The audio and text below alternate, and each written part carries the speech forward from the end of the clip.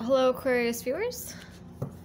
Going to look into what your person is thinking, feeling, wanting, uh, what action they might be taking towards you, or pretty much just whatever the cards want to say. It could be a love reading, could be, you know, there could be some information about finances or career that comes out.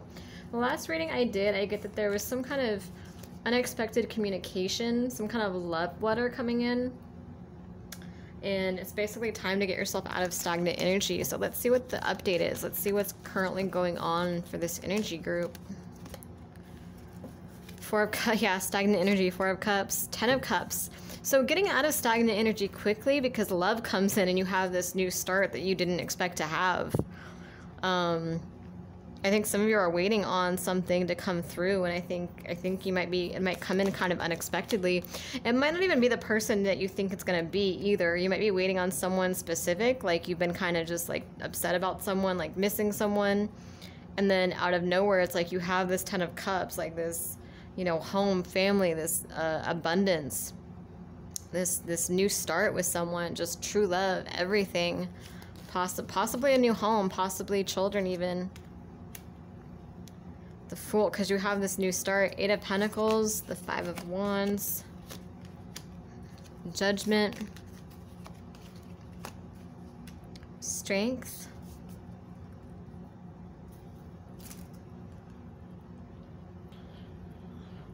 This could be someone coming from the past coming back around, but more than anything, I actually think for most of you, it's not someone from the past so much as it is just old patterns it's like you went through a phase where maybe you were with emotionally unavailable people. There might have been miscommunication there. Just not seeing eye to eye, not being able, like throat chakra blocks is kind of the energy that I feel from this. Like, kind of being almost like shy and submissive and not able to speak your truth or when you do speak your truth it's like you get angry or your voice just isn't heard like just communication issues not being heard not being seen not being felt and I feel like you learn from that. Eight of Pentacles, it's like you you learned a lot about yourself through those experiences and you're wrapping this karmic cycle up. And you're making this judgment call and deciding to go forward and and be strong and be the best version of yourself. It's like you're taking the lessons and learning through them and that's why you're able to get yourself out of this stagnant energy because it's like you're not in this cycle anymore. You're getting out of this cycle now. You're like you know what? It sucks that that happened to me. That was painful but i'm not going to let that define my entire life. I'm not going to let myself sit in this energy my entire life. It's time to be strong. It's time to speak my truth. Um, could be like some lion energy here too. Could be the lions gate actually um, that we had on the 8th but it's like you just feel that energy where it's like you know it's time to get out of this whatever this is. This could be a specific person that you just weren't talking to that you were kind of holding on to and kind of depressed over even though you knew logically they weren't going to come back. But you're making a judgment call to be strong and to be the best version of yourself and to leave this behind. You've learned from this learned from your mistakes. You're um, a different person now and you're getting yourself out of stagnant energy. And so I do feel like love is going to come in unexpectedly for a lot of you. Ten of Cups and the Fool. It's like you got this new start here with the King of Cups, possibly King or Queen of Cups. Yeah. This person's going to be all about you. Nine of Cups. Like wish fulfillment, wishes granted. You know, trying to get your attention. Nine of Swords don't get in your head with your anxieties, you know? Sometimes some of you might be tempted to hold on to the past or hold on to what's familiar. But, you know, it's way past time to get out of stagnant energy. It's way past time to, to get your life moving again. So, so don't stay in this energy of the Nine of Swords. Try to do what you can to move past this because your spirit guides are more than ready to finally bring you love, but you just you have to be in that receptive state for it i feel you have to be in that state of um, it's just this huge energy shift. It's like you're standing on this cliff. It's like it's just it's how do I even explain it? It's it's just time for you to have this this major energy shift. You just have to step right out of your comfort zone. It's just you know, love is waiting for you just on the other side of fear. It's like you have this new start. And I love how it goes from st- from stagnant energy to a 10 of cups just like that. It's like it's like you're stagnant, nothing's going on and then before you know it, it's like you're engaged or you're having a baby or you're moving in with someone or you just have the love of your life with you.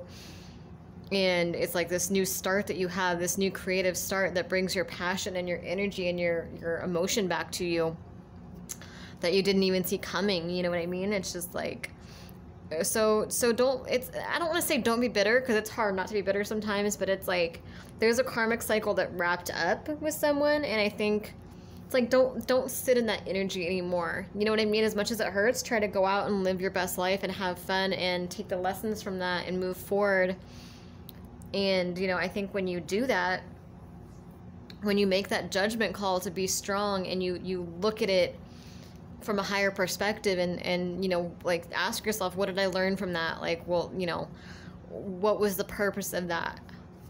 What can i take from that? What can i do differently in my next relationship you know those are the kind of work things that you want to ask and you want to wrap up that karmic cycle and then you this comes in this comes in like almost overnight where it's like you just are single and then suddenly you're just in a relationship and it's like what you got lots of of ten of cups ten of swords ten of pentacles not just uh, abundance with love, but abundance with finances too. I feel like a lot of you have been manifesting this for a while. Like you've been asking for this. You've been, you know, manifesting this person. You've been manifesting this true love. And, you know, manifesting money and asking for it, but you've been in stagnant energy. So it's almost I will see this person in like this little guarded bubble, and it's like outside of that bubble is everything that you want, like your, you know, wish fulfillment, just money, love, success, fame, fortune, all of it is just right outside that little bubble. But you have to step out of that bubble. You have to step out of this little this little cave that you're in or whatever, and and you know make life happen for you and and go out and live your best life and get out of stagnant energy. Because I, th- I think you've been praying for this and manifesting this for a while and it's almost like it's it's interesting energy because it's almost like you manifest things like the things that you pray for and ask for. It's like your spirit guides bring them in but like your energy blocks them or like i don't know what it would be. It's almost like like the energy is around you it's ready for the taking like love abundance all of it it's like ready you know money it's it's ready to be yours but maybe it's like a certain mentality that you have that stops you from aligning with it. I'm not sure, but it's like all that energy, everything you've been asking for, it's available to you. It's like right there in front of your face, but it's like you're in this bubble is what I see, what I feel like, even though it's around you, you're kind of in this bubble, kind of blocked from it. And it's like, you know, you know, maybe it's time to unblock, maybe it's time to do some chakra clearing as well, but it's like time to step out of your comfort zone and kind of, you know, align with this energy. Um, you know, do do what you need to to get out of stagnant energy. You know, go someplace new. Go to a bookstore. Go to go to go to a club. Even just go go do something new. Like if you have the same old same old routine, like try to step out of that routine finally. Because there's a lot of good energy here for you.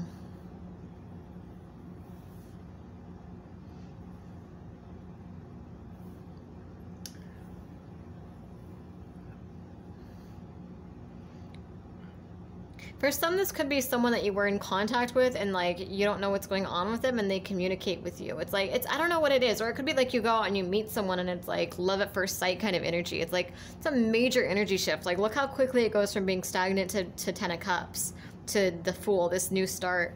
There's something you gotta let go of here. It's like there's this ending that's coming in too, but it's, it's like an ending but also a beginning. And I think it's also, the Ten of Swords, I feel like it's, it's not so much a person that it's ending with I mean, for some of you, it could be a person that you're wrapping up a karmic cycle with.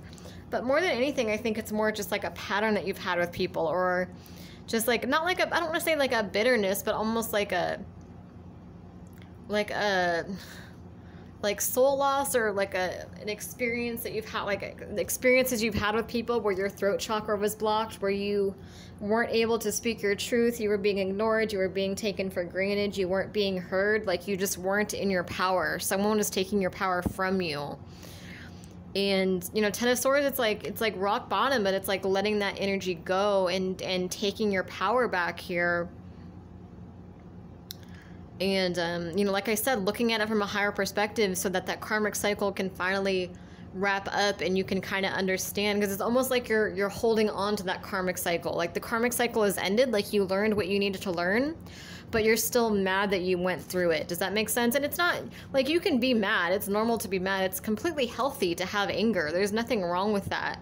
But i'm just saying don't sit in that energy forever though. You know what i mean? Like even if you're angry still try to see what the lesson was from that, like why you needed to go through that, like what you learned from it, so you can take that energy and do things differently next time around in your next relationship. It doesn't mean that it was okay that that happened to you or that you went through that.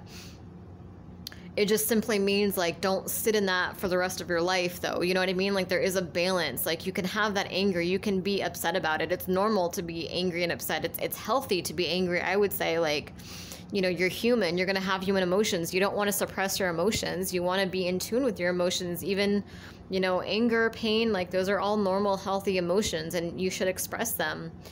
But it's just kind of saying like forgive yourself. Like if you were in a situation where you know your throat chakra was blocked and someone was taking your power away like forgive yourself for being in that situation. Forgive yourself if you were in a situation where you were naive.